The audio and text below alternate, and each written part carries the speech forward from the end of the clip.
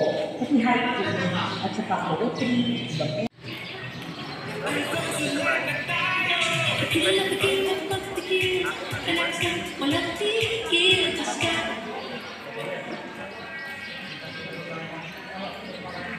see, we edit a lot of videos every day, so we don't get much time to answer emails and write long posts. English, I'll take account. I I was kids. The defensive law performance is what I prefer. I got one. Things started to blow five months later. When I couldn't pay rent anymore, I was kicked out. I lost everything. kilala natin siya nakaka Hi, Tony. It's nice to finally meet people. Yes, of course, I see you working, yes, and um, thinner than in In person. Sa news. Yun na nga. I know you were born in the 80s, at yun yung nagsimula ako uh, sa career dahil kami sa sa ABS-CBN. In the working life. Actually, your age, doon ako nag-design kumakumpuni like 37 yeah, yeah. You're 37, it was as young as your age.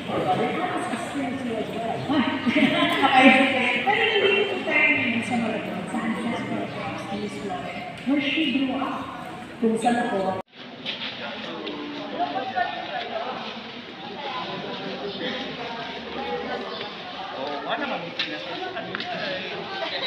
Kala ko nga sir, pinapawin ko lang nakapino. Oh. Bilantaran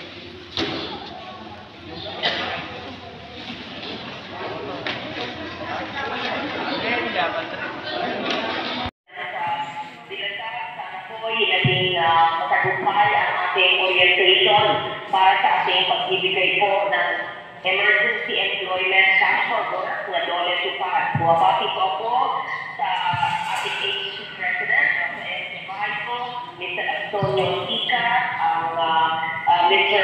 Renz Lausto, Ms. Monica Rivera, at lahat siyempre ng ating dole tupad beneficiaryo ngayon araw na ito ang uh, best po officer. Yan po yung batas ko nung ako po ay senador Tumutulong pagbigay ng trabaho sa mga tao. Natutuwa naman ako na ang aking batas na ito ay napapakulamangan lalo na ngayong panahon ng pandemic. At ang aking pagtulong po sa pagbibigay po ng dole to pass ay simula lamang at sa kadarating na po tayo po ay tutulong pa sa ibang mga beneficiary po. Maraming maraming aking puso, napakaganda ng inyong lugar, ng inyong bayan, ng inyong probinsya. Ako'y nagagalak na makasama kayo ngayong araw na ito. Sana po maging um, safe kayo, stay safe and prosper. Uh, Deputy Speaker at ah, sa susunod kong uh, kakandidato bilang senador po.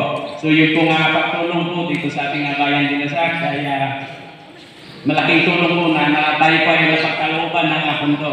So pina, ah, ah, nagmamadali po kasi siya kanina dahil uh, may meeting yung uh, sa ihiling po natin ulit para nga bayan Dinasak po ay mapagkaula, uh, mapagkalooban ulit ng uh, panibagong pundo sa susunod na taon. Pero gagawin na lang po kami ng ah, request letter para ma- makahingi po sa kanya ng, ng, ng panibagong na pundo po para po sa tupad. At